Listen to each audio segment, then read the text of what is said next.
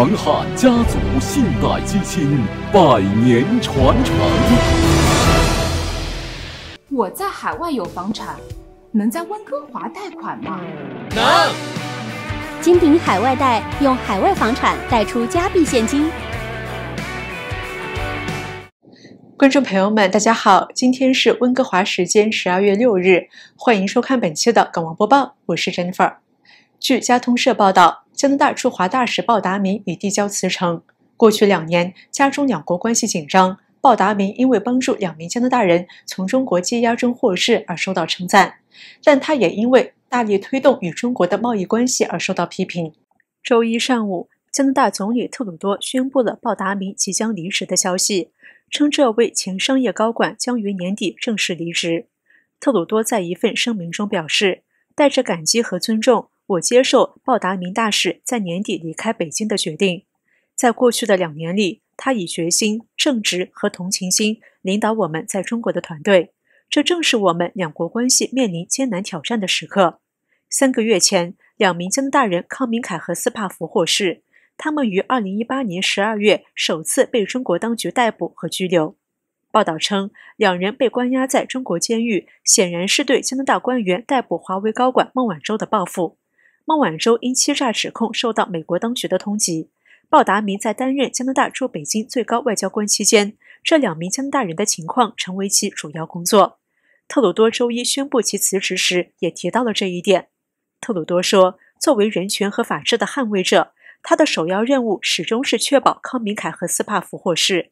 他们在中国被任意拘留了两年半。他为这项重要任务不知疲倦的工作，感谢他的领导能力和娴熟的外交手段。康明凯和斯帕福终于回到了家中，与家人团聚。在孟晚舟与美方达成暂缓起诉协议后，这两名加拿大人已于九月获释。加通社的报道称，曾在全球咨询公司麦肯锡担任高管的鲍达明。在担任驻中国大使之前和期间，也曾因不顾中国政府越来越专制的倾向，推动加强与中国的贸易关系而受到批评。特鲁多在声明中称赞鲍达明帮助塑造了加拿大与中国的关系和优先事项。他说：“感谢他的努力，加拿大现在能够更好地管理这一重要关系，实现我们的外交目标。”随着节假日临近，边境处将迎来一年中最繁忙的时刻。但由于奥密克戎新毒株的威胁，加拿大又恢复了要求在航空及陆路入境处做新冠检测的政策。联邦政府在六日正式与三家公司签订合约，由这些公司负责做入境新冠检测和其他监测服务。据悉，这笔费用总计将达六亿三千一百万元。这三家公司分别是 Switch Health、Life Labs 以及 Dynacare。届时，这三家公司将负责为入境者提供服务，包括预约检测、检测的实施以及结果管理。此外，他们还会对临时外来劳工、难民、寻求庇护者以及国际学生提供进一步的检测支持。Switch Health 公司将负责在安省、阿省以及大西洋省份的入境检测。合约上签署的价格总计四亿四千万元。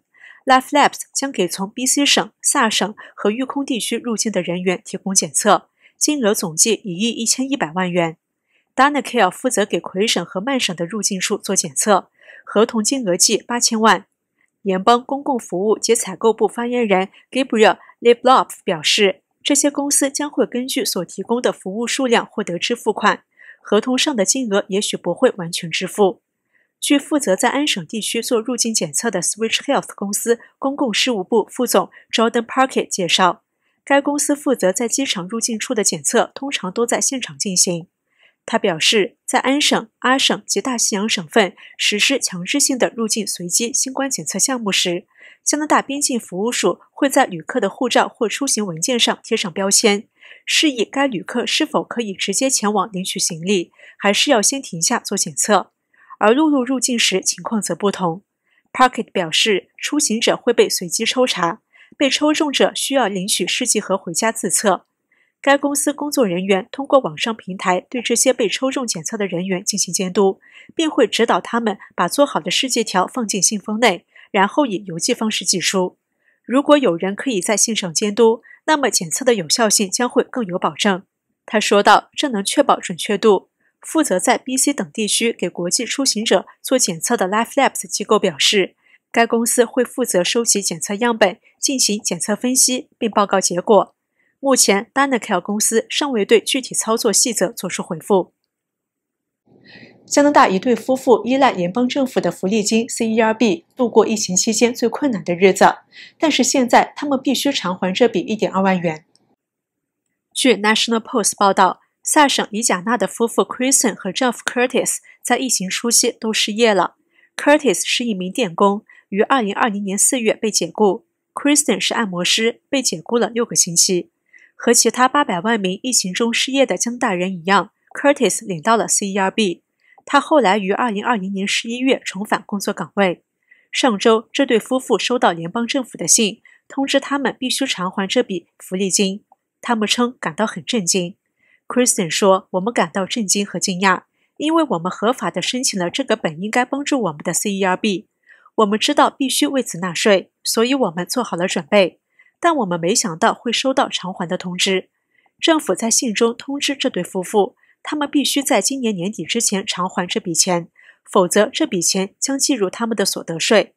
Kristen 说，他已经联系联邦政府询问出了什么问题，但尚未收到回复。Kristen 说，CERB 至关重要，帮助他们在疫情初期生存下来。这笔钱用来支付房贷、电费和能源账单。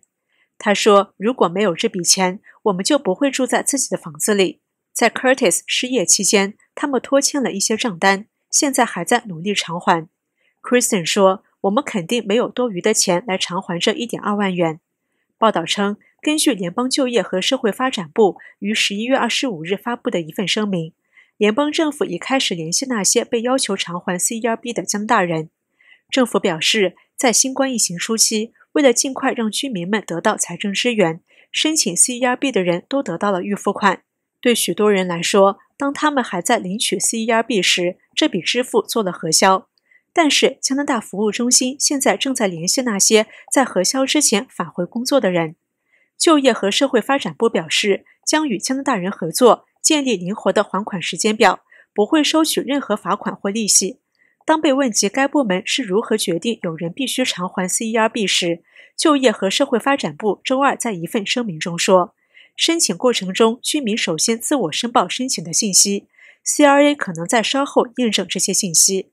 该部门没有说明如何确定什么人必须偿还福利金。” Kristen 说：“她收到的政府信中没有解释为什么她和丈夫欠了这笔钱。”她说：“这看起来像是加拿大税务局的账单。”他说：“我们想知道为什么那些申请 CERB 并绝对需要的合法人士，却要为绝对需要的东西买单。”印度神童阿南德于十月预言，全球会爆发能源危机、电力短缺、供应链中断等危机，并在十二月十日，大约十二月第二个星期后加剧。而安南德在十一月的月食预言中，又指未来一年房地产、地缘政治如中美关系可能受到冲击，以及洪水爆发等。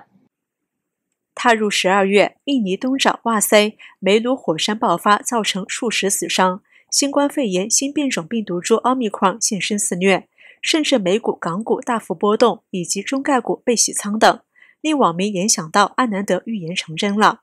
而阿南德于十二月三日发布了最新预言短片，指今年十二月十四日至二零二二年四月是极重要的时期，可能影响全球多个国家经济，以及有强降雨、地震等天气天灾等，并提出一招避免灾难的方法。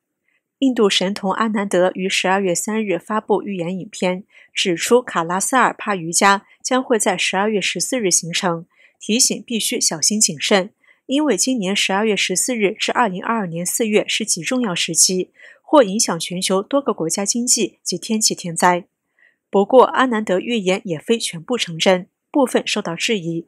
例如，他预测二零二零年会发生第三次世界大战，并指出参与国家为美国、伊朗、印度及巴基斯坦。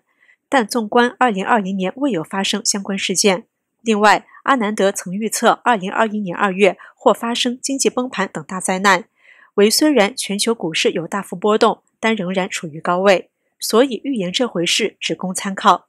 对于加密货币前景，印度神童阿南德与以往预言影片及文章中曾含有提及比特币等加密货币，指加密货币价格会在这个时间点大回调，甚至泡沫破灭。阿南德另外预言了经济泡沫爆破关键时间点，形容这次爆破爆炸性非常大。好了，以上就是本期港闻播报的所有内容，感谢您的收看。如果您喜欢我们的节目，请点击屏幕右下方订阅我们频道，同时也欢迎您点赞、转发、分享我们的视频。我们下期再见。